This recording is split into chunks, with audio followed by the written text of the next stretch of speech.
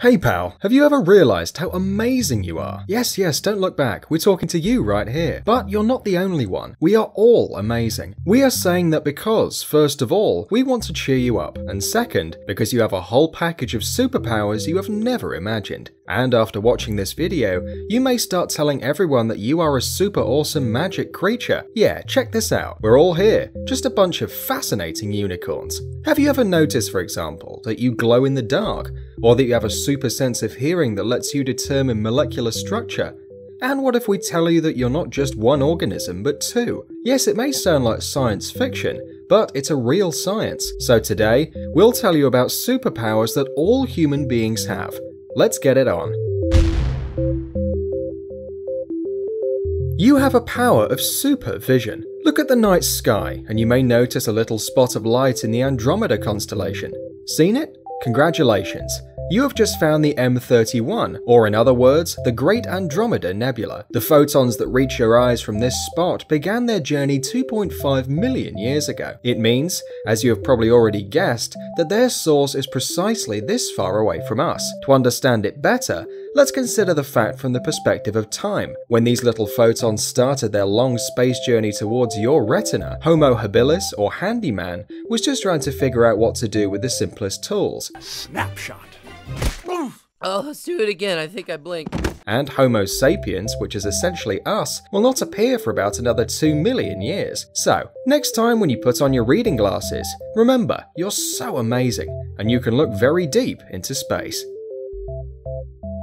You can heal your mother from inside the womb. It turns out that pregnancy is not the one sided relationship like we're all used to think. When you're inside your mother's belly, you have unlimited access to a huge amount of powerful stem cells. You use them mainly to build your pretty little face, and these cute little fingers, toes, and other stuff you'll probably need in the future. But you can also send these cells to your mum. Well, if she needs them, of course. The stem cells can rehabilitate and protect her body from all kinds of injuries or illness. They can even cure cancer. And if you think about it, it does make sense, since the baby needs her mummy to be safe and sound. So, he sends her these little first aid kits made of stem cells, and when he's finally born, there would be his perfectly healthy mother to make him some delicious porridge.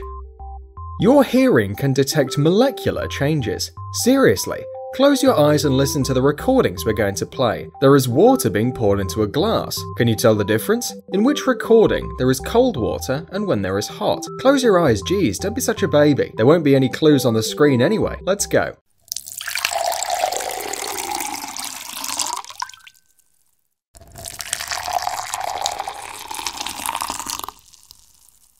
If you think the first glass contained cold water and the second one had hot water, you're absolutely right. The great majority of people, around 80 or 90%, are able to guess right. What is that that we're hearing anyway? What you hear and recognize is, in fact, the difference between water molecules. Cold water has a higher viscosity, which is reflected in the way it's pouring. On the other hand, hot water has more bubbles in it. It affects the frequency of sound. The reason you can instinctively differentiate hot and cold water is that you unconsciously unconsciously train your brain every time you make yourself a cup of tea or pour a glass of water. You don't want to get burned, do you?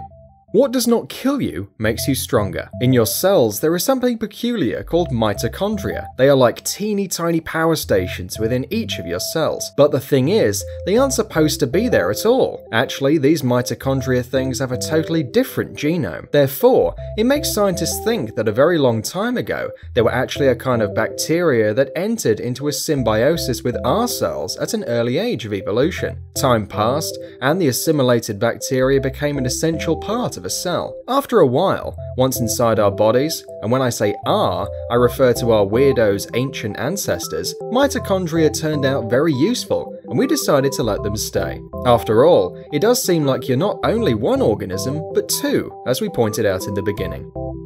You possess a force field. May the force be with you, Luke. Hmm, so, you consist of atoms, as does everything around you. Obviously, you know that already. What you probably did not know is that all atoms consist of how do I put it? Virtually nothing. An atom of hydrogen, for example, is 99.99 and a dozen of nines percent empty space. Here is the question then why don't we pass through a wall every time we lean against it? The answer is because of an electromagnetic field, which every atom has. The field makes atoms strongly repel each other. It means that when you take something in your hands, you don't really touch in the full sense of the word. There is always a small gap between you and the object created by the electromagnetic field. When you sit down at the table and put your hands on it, the pressure you feel and the force that doesn't let your hands pass through the tabletop is precisely an electromagnetic repulsion. The field is incredibly strong, even stronger than a gravitational pull our planet exerts. Thanks for watching. Please like and share the video in social networks, and we'll be right back to you as fast as we can.